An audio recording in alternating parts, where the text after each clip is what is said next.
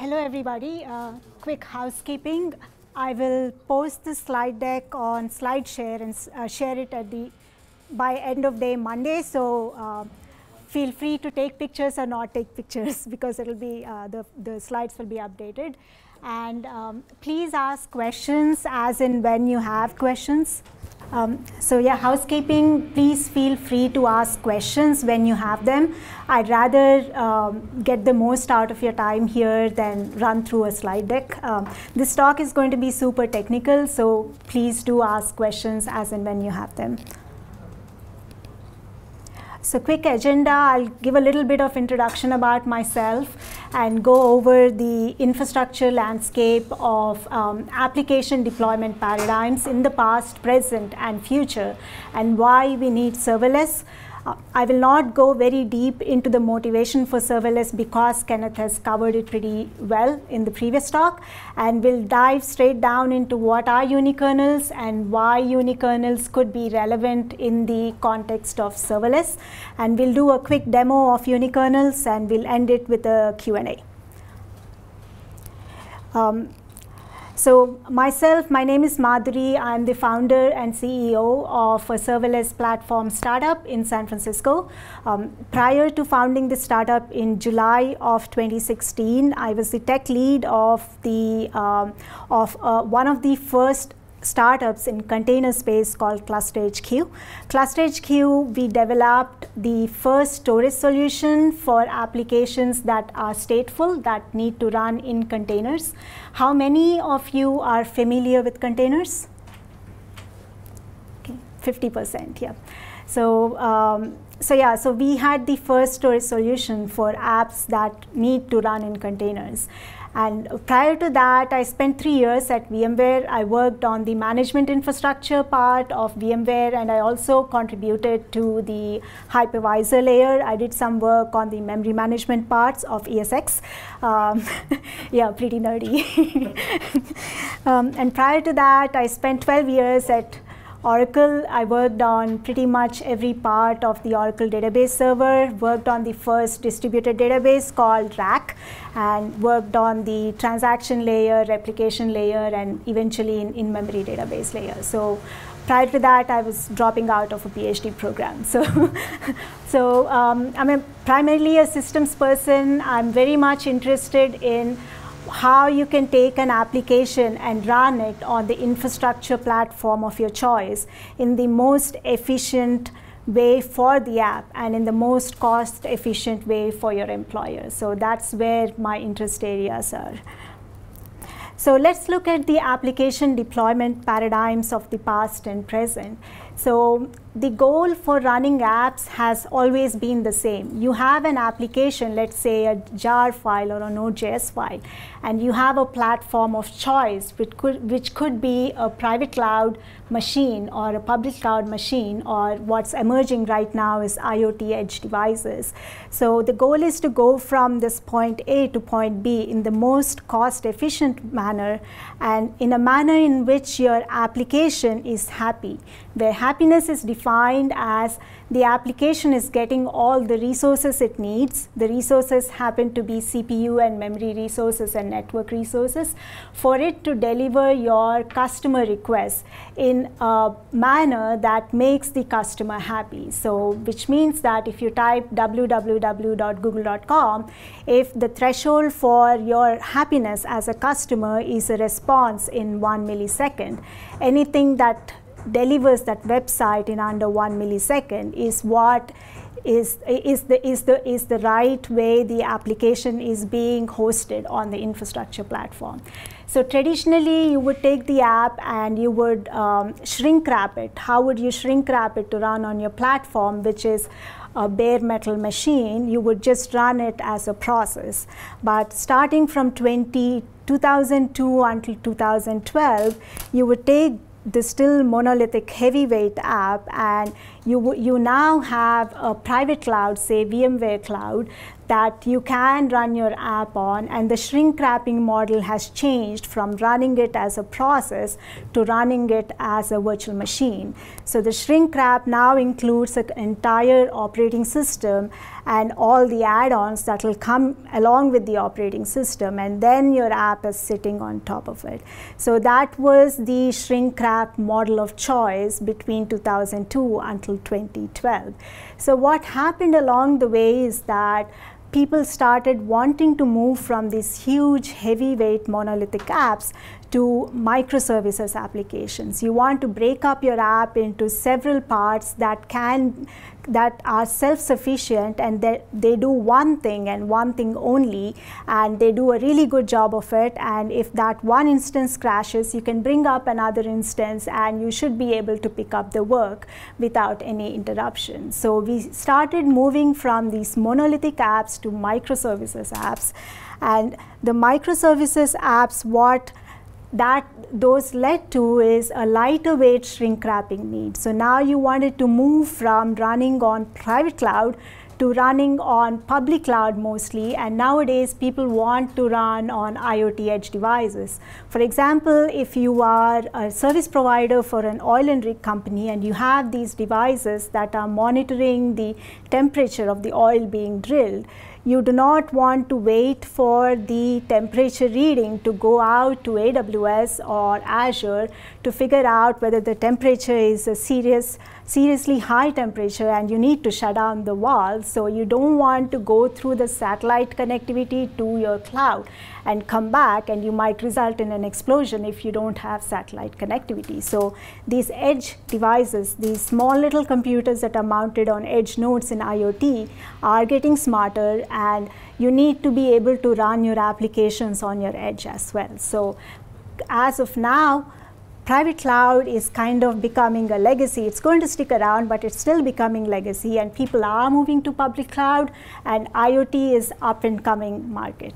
So now, how would you shrink wrap your, let's say, Java um, JavaScript web server to run on public cloud or to run on the IoT edge device? And people are moving towards containers from virtual machines. So instead of provisioning an entire VM that has an OS layer and then your app sitting on top of it, you provision one Linux server and you have several containers which are fancy processes with na namespace isolation and you run your app as a container on these on this large Linux server that's provisioned.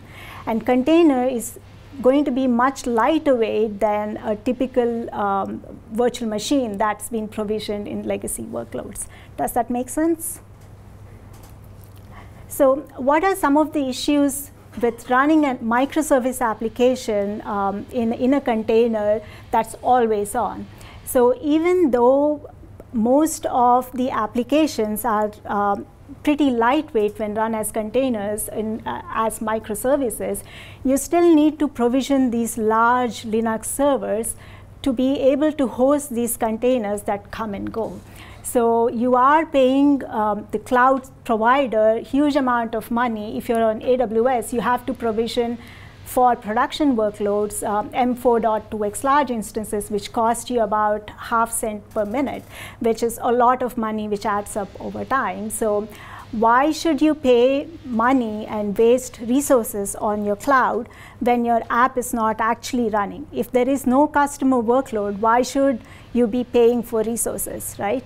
So cost is a major um, is a major problem. And the second thing is there are orchestration frameworks that have to start these containers and figure out where to place them, which server do I need to place my container on, and is my container getting enough CPU? Is my container getting enough RAM? Is my container getting enough network bandwidth for it to be able to service all the all the um, customer requests? So those are complex problems which you do not you you're better off not dealing with them if you are not having any customer requests right so why pay for an orchestration framework why pay for um, a load balancer why pay for an auto scaling product if you don't have any customer workload. So what if you could just pay for them only if you're actually using the resources based on your customer demands. Does that make sense?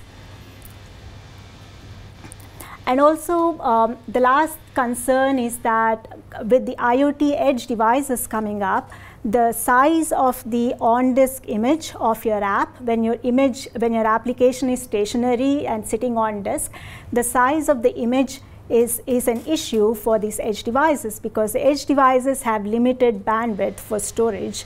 So the smaller the size of the um, application that is stationary, the better it is for it to be able to be transferred to back and forth from edge device from the cloud. So serverless paradigm basically says that if you want to reduce the cost of your um, private public cloud usage or IoT device usage and only pay for resources if you have customer demand, only then you should be able to provision the shrink wrapped application. Otherwise, no need to provision the shrink wrapped application. So most of the serverless uh, platforms available right now in the market are backed by containers.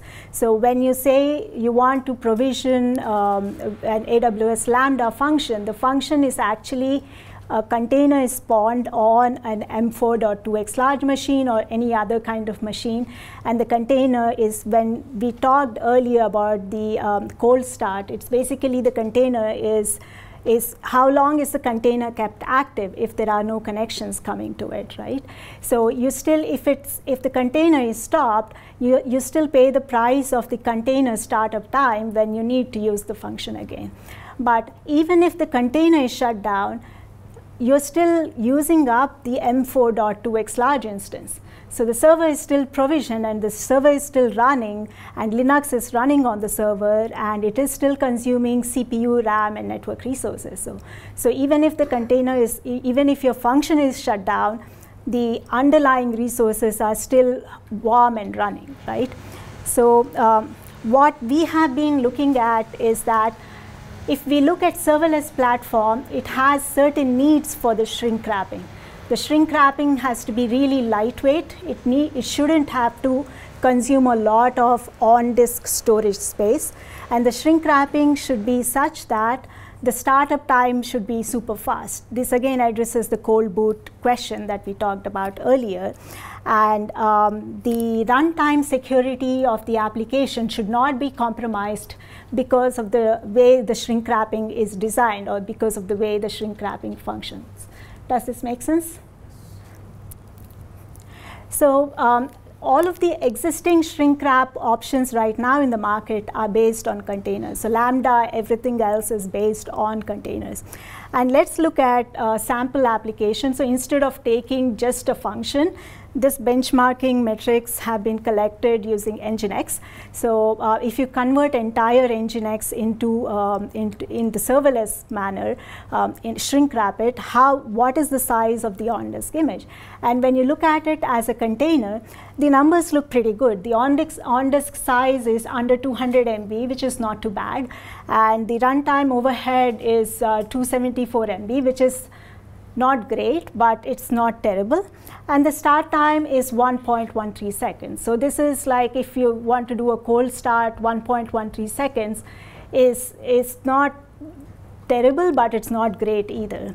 And security vulnerabilities is an interesting, um, in, interesting metric. So you would think that if there is no um, customer, if your if your app is running and it's sitting as a function which is shrink wrapped as a container, you would think that the security vulnerabilities of that app eh, are just limited to the code that you wrote. But the, your app is exposed to all of the security vulnerabilities in the shrink wrap as well. So when your app is shrink wrapped as a container, a container would have a base Linux layer, and then you would have all the additional package add-ons you would ha uh, have on top of it and then your app is sitting on top of it. So basically you are exposed to all of the um, all of the underlying Linux layer security vulnerabilities and you do not have any choice in it because your serverless platform has made that decision for you. So if your serverless platform has decided to use Ubuntu 14.04 as the base image for your container for provisioning your function. So any security vulnerability in Ubuntu 14.04 is going to be exposed to your app. So um, so let's talk about are there any other ways of shrink wrapping your application that's running as a function that actually meet all the needs of the shrink wrapping model that serverless platform desires and demands. And that's where we get to unikernels. How many of you have heard about unikernel? One. All right, so, so unikernel concept has been around for several years. So um, let's look at the evolution of the shrink wrapping, right? So initially we had the entire virtual machine where you have an entire operating system and then the app sitting on top of it. Now we come to a container where you have a Linux base, but you also have a Linux base for the container.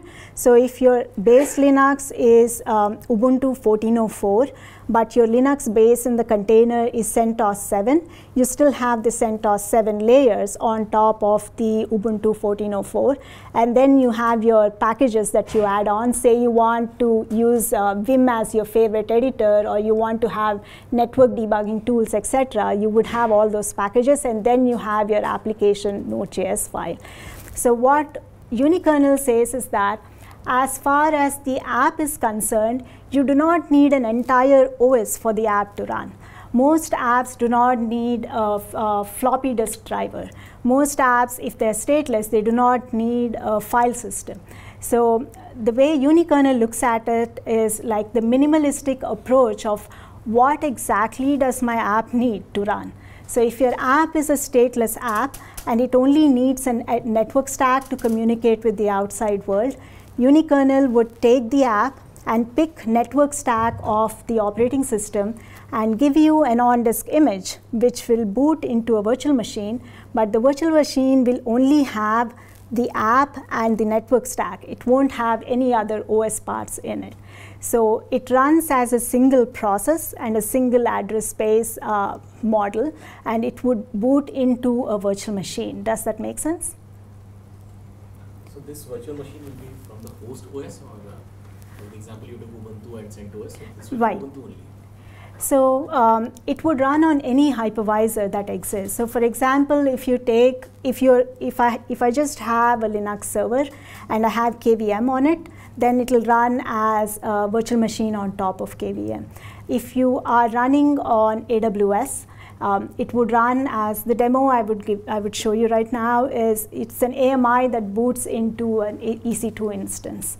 So, um, so basically what you are avoiding is provisioning a large instance that is sitting and waiting around for starting and stopping functions, right? So you're still paying, someone is paying for that, inst uh, that instance, whether it is the end user or the actual platform uh, provider, someone is paying for it. Whereas the concept of unikernel, you look at it from the other point of view, right? You only provision resources when you need them, and you don't you don't have resources provisioned and waiting to start applications. Does that make sense? Yeah. So let's look at um, um, demo of it.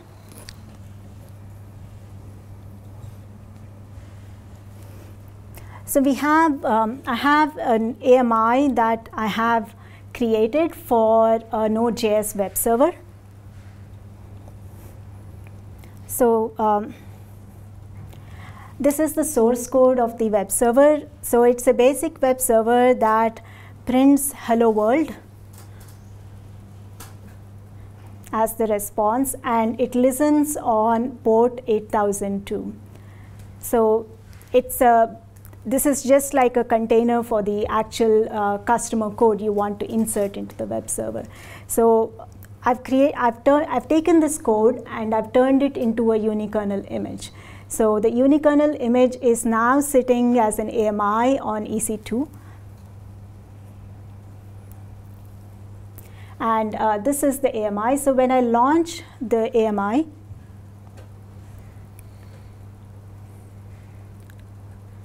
what I can pick is the smallest possible instance that is available.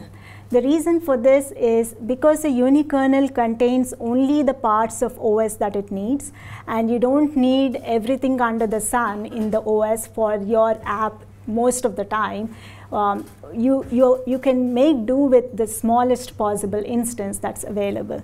Isn't Nano the smallest? Yes, it is. So um, I want to run some performance tests. So I want to take, I want to give it some resources. So.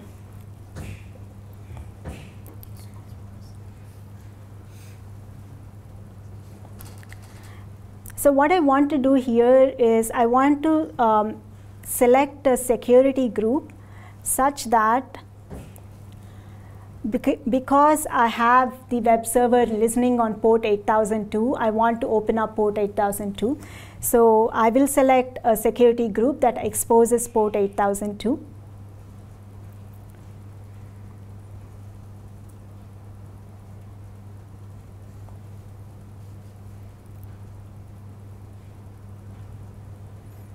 I apologize for running the demo on AWS at Microsoft Office.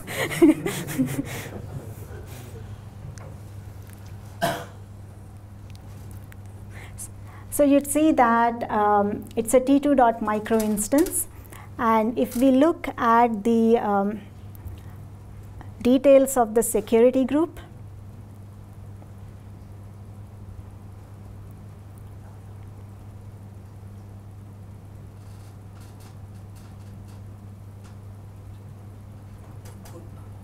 Yeah.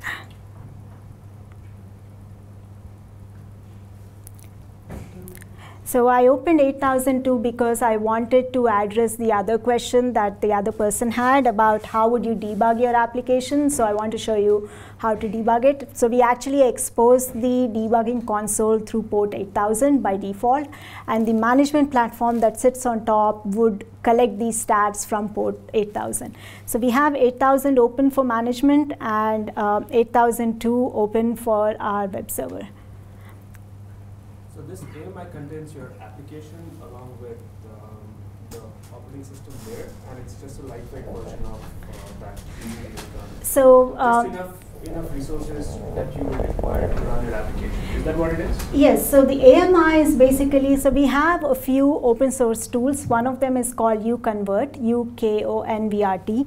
I'll share the link for it. In, I'll upload the link for it in the. Um, in the slide deck as well. So basically what uKonvert does is it takes the source code of your, of your app and it analyzes the source code to figure out what are the parts of OS it needs and it automatically gives you an on-disk image. So the default on-disk image is of a certain format which can be converted to your cloud backend of choice. So um, does that start with any generic OS, run uKonvert, no, you don't even have to pick a generic OS. So you give uKonvert, you, yeah. So you point, you give uKonvert the um, uh, the file location of your app, and uKonvert will give you an on-disk image. So that's the whole point of having uKonvert is you as an end user do not have to figure out what are the parts of OS that I would need, right? But what, what OSs are supported? Only Linux. Um, so the OSs that we pick are based on the uh, source code of your app. So for example, like the right now, except for if your app is written in Golang, then we might pick bits of Linux. But if your app is written in Node.js, for example, we pick um, an OS that's custom designed for uh, unikernel. So the OS that we picked in this case for generating this AMI, it actually has a completely rewritten network channel, networking stack based on Van Jacobson channels that offered up to 90% performance gains based on as compared to Linux stack. So, um, so it's like think about it as if we have to rewrite Linux, what would we, how would we rewrite it now, knowing what we have learned in the past 10 years, right? But being at Microsoft, if I have a C Sharp .NET program, Uh-huh. that wouldn't work. Um, so far, like of the customer conversations we have had, so far we have had um, 40% Node.js, 40% Java, and um, around 10% Golang. And Golang is starting to take a lot of Node.js uh, space and some C, C++. So um, as a startup, like we are a really tiny startup, so we would totally support C Sharp if we had a customer use case. Uh, in Yeah. about unikernel, Yeah. does it support all the languages or there is a restricted support to certain application and certain programming languages? So, um, as a unikernel framework, the unikernel framework supports certain runtimes. So, the runtimes that are supported right now are Node.js, Golang, um, C, ELF, and uh, Java, and some functional programming languages like OCaml, which um, which we haven't seen any production workloads in. So if there is a runtime that is um, that comes up as a customer use case where folks are interested in exploring serverless for that runtime, then we'll totally support it. Does that answer your question? Yeah. Okay, so let's see. Um, let's look at our instances.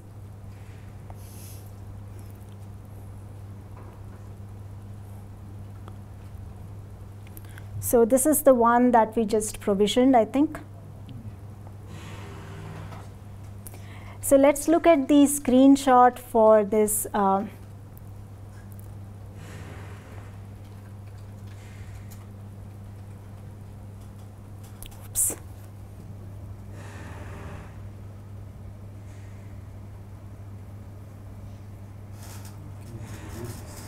Yeah, yeah.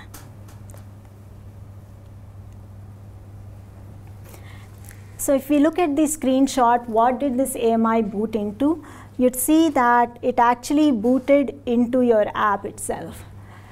So you don't have the AMI boot into a Linux or some other OS and then you're running an app on top of it. So what the AMI booted into is a teeny tiny EC2 instance and it's actually running the app itself and it doesn't have any, any other parts in it, any other operating system parts in it except those that are required by your app. So um, let's verify that this is actually running what it is supposed to be running.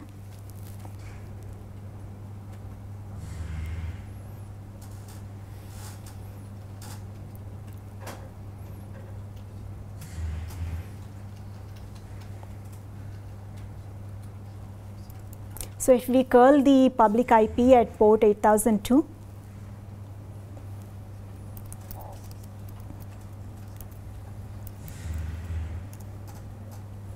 So that's what the app responds to. So your instance is running your app and nothing but the app.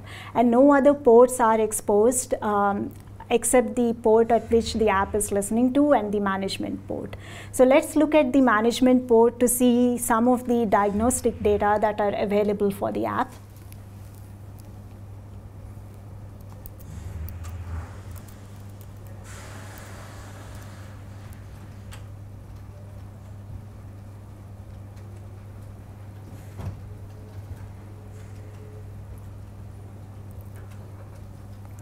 So you can see the resource utilization of the app. So it's pretty minimal. So even though the total is 1 GB, um, you have majority of the, um, uh, the memory available because the OS is taking very little part of your memory, right? Because it's minimal OS. So all of the, like 90% of the memory is available for the app's utilization. And similarly, the CPU utilization stats can be gathered and um, the storage stats and all of this data is available via the serverless framework APIs as well. So they, it can be programmatically queried.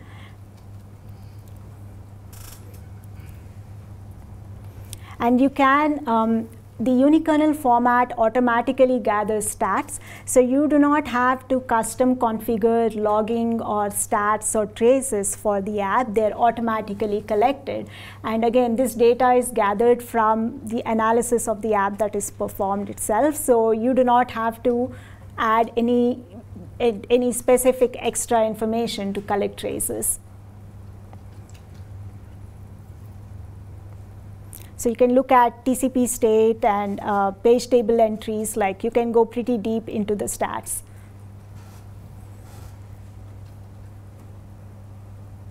So this is what your company provided on top of some of the open source things? Well, so what we do is there are several frameworks available for unikernels. So this one that you're seeing right now is based on a framework called OSv. And because your app happens to be written in Node.js, the tool that we used under the covers, we picked OSv as the, um, the unikernel framework of choice. If your app is written in Golang, we would have picked something else. I'm trying to understand what, what your company is actually doing. Where Oh, okay, okay. Sure, yeah. So what we do is we have the platform built on top of the different unikernel frameworks. So you can go from the from the source code to your application running in one step instead of trying to uh, trying to create. Yeah, yeah. Does that answer your question? What so is the what is the framework offered?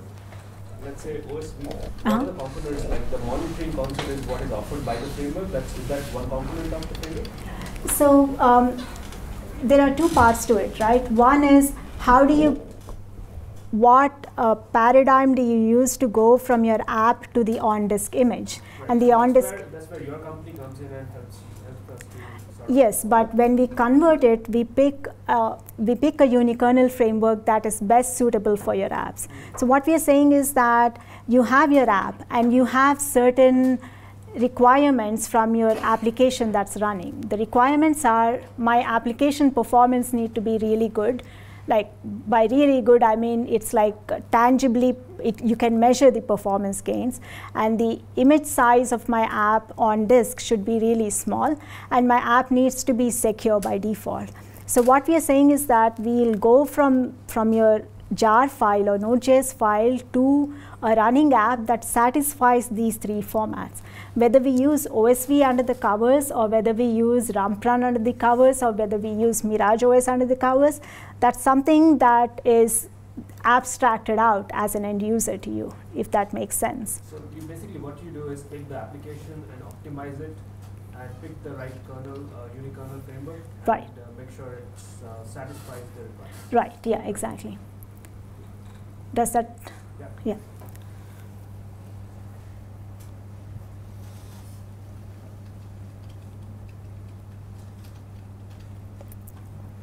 So um, let's compare how unikernels perform when compared to containers. So the, the motivation for this talk is, is not to say that one model is better than the other. The motivation for this talk is so far all of the serverless platforms out there use containers as the shrink wrapping of choice. So our question is, is there some is there another alternative and is, is that the only alternative that satisfies all the requirements that we have for the shrink wrapping for serverless platforms so um, if we compare the metrics for container versus unikernel for the for the um, the four metrics we visited earlier, which is on on disk image size, startup time, and um, the runtime memory overhead and security vulnerabilities. Um, unikernel performed better than container in three out of the four metrics. And um, with respect to security vulnerabilities, because you are not provisioning a server that's sitting around waiting to provision the functions, what you get rid of is that your attack surface becomes really small uh, by default. So, for example, there was a Venom attack. I, is anyone familiar with Venom attack from last year? So, so basically Venom attack, someone hacked into an app that was running on an EC2 instance that based on Linux uh, using the uh, floppy drive virtual driver.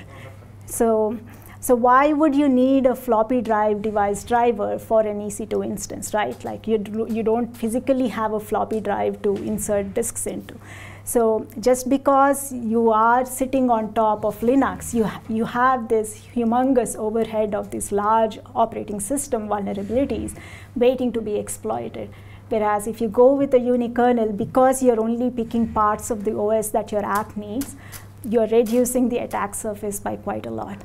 And uh, another question that comes up is like, hey, this sounds really interesting and promising, but how is my app performing, right? How does my application performance compare? So the comparison metrics for the Node.js web server we just looked at, if, we, if when we ran Apache Bench with uh, concurrency set to one, the, um, the request per second serviced by the unikernel were about 90, 91% better than containers. So it's, it's pretty promising. Um, I'm not saying that it's like it's it's a definite alternative. What I'm saying is that it so far it looks very promising enough to be considered as a potential al alternative for some time in future when the technology is mature.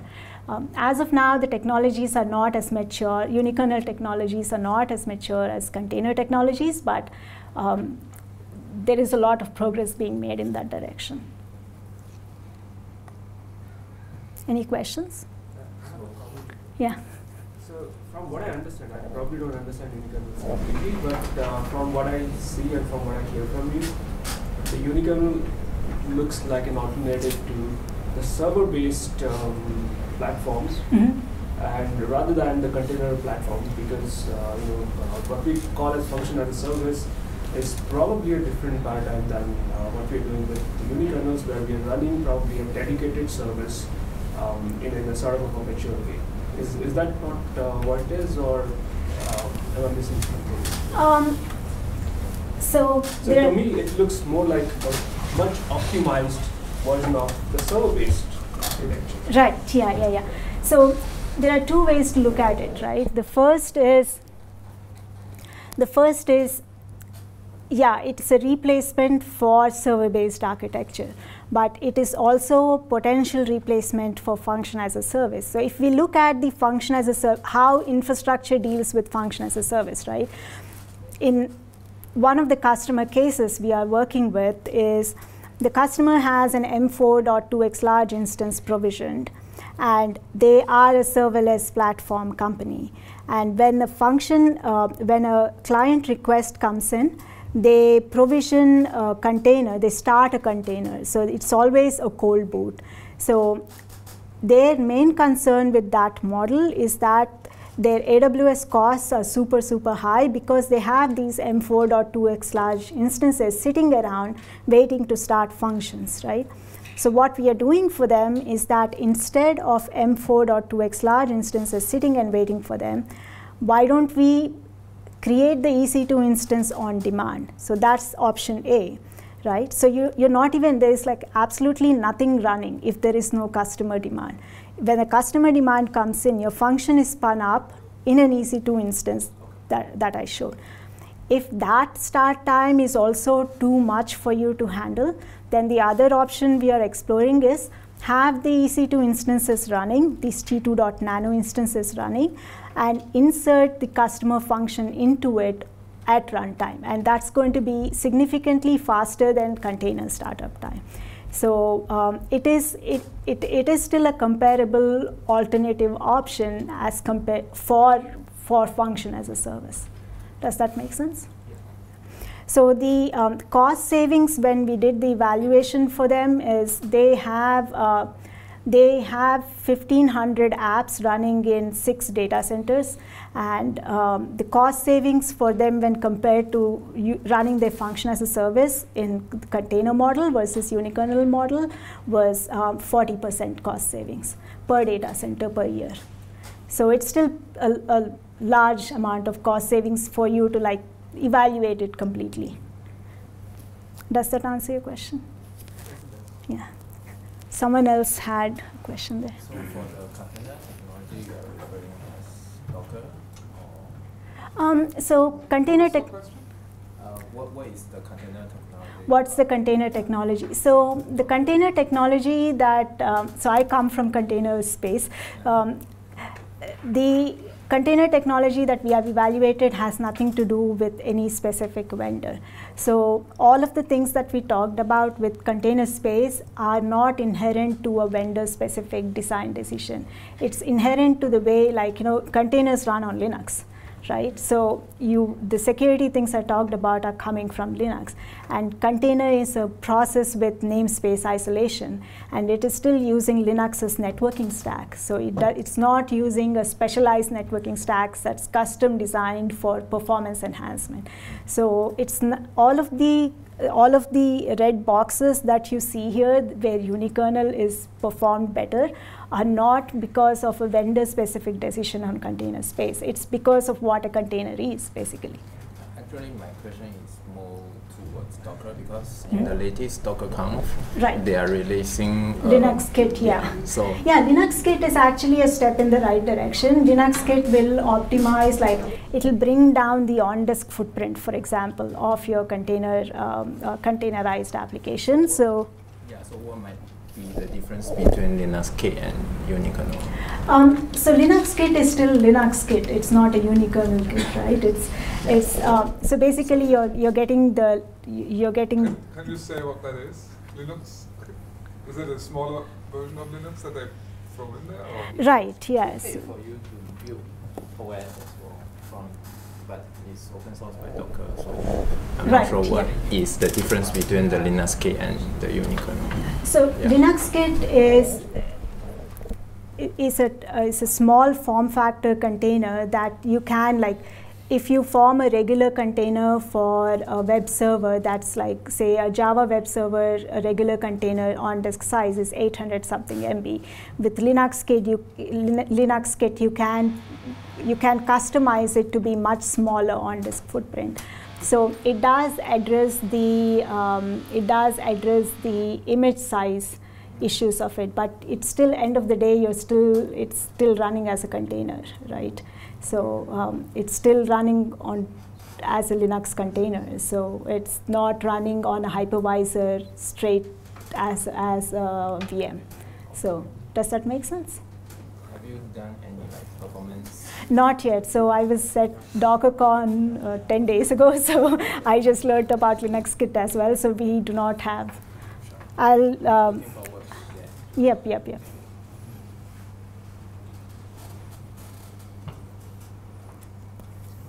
Any other Is questions? this general Q&A? Um, so a couple of takeaways, but yeah, we can move on to Q and A. Yeah. Uh, got a question. Yep.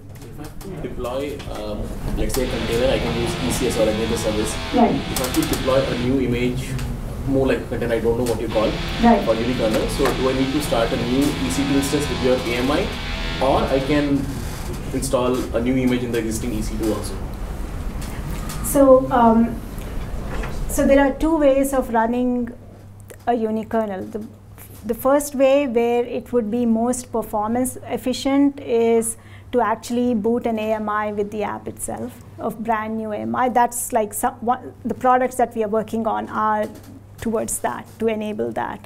And the second version is if you do not, if you want to take a safe route towards unikernel, you have your Linux server.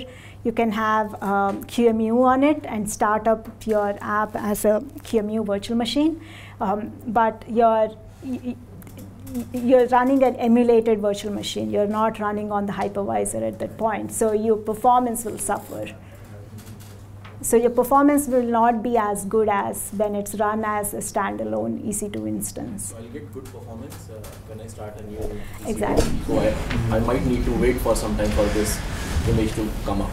Um, so that's the thing, right? So that if you choose to cold boot, but what we are saying is that you have the EC2 instances up and running, and you're only injecting your function in. So they, they are actually up and running all the time, just like your large instances are up and running to start your app as a container, your function as a container. You have the smaller EC2 instances up and running, and you you uh, warm boot your app.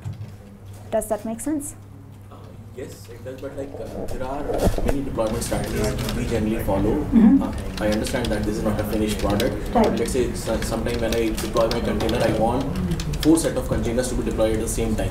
Right, It could right, be a same functionality, part of the same Yes, functionality. yeah, yeah, yeah. So can I like, Yes, yeah. something like this? Yep, yep, yep.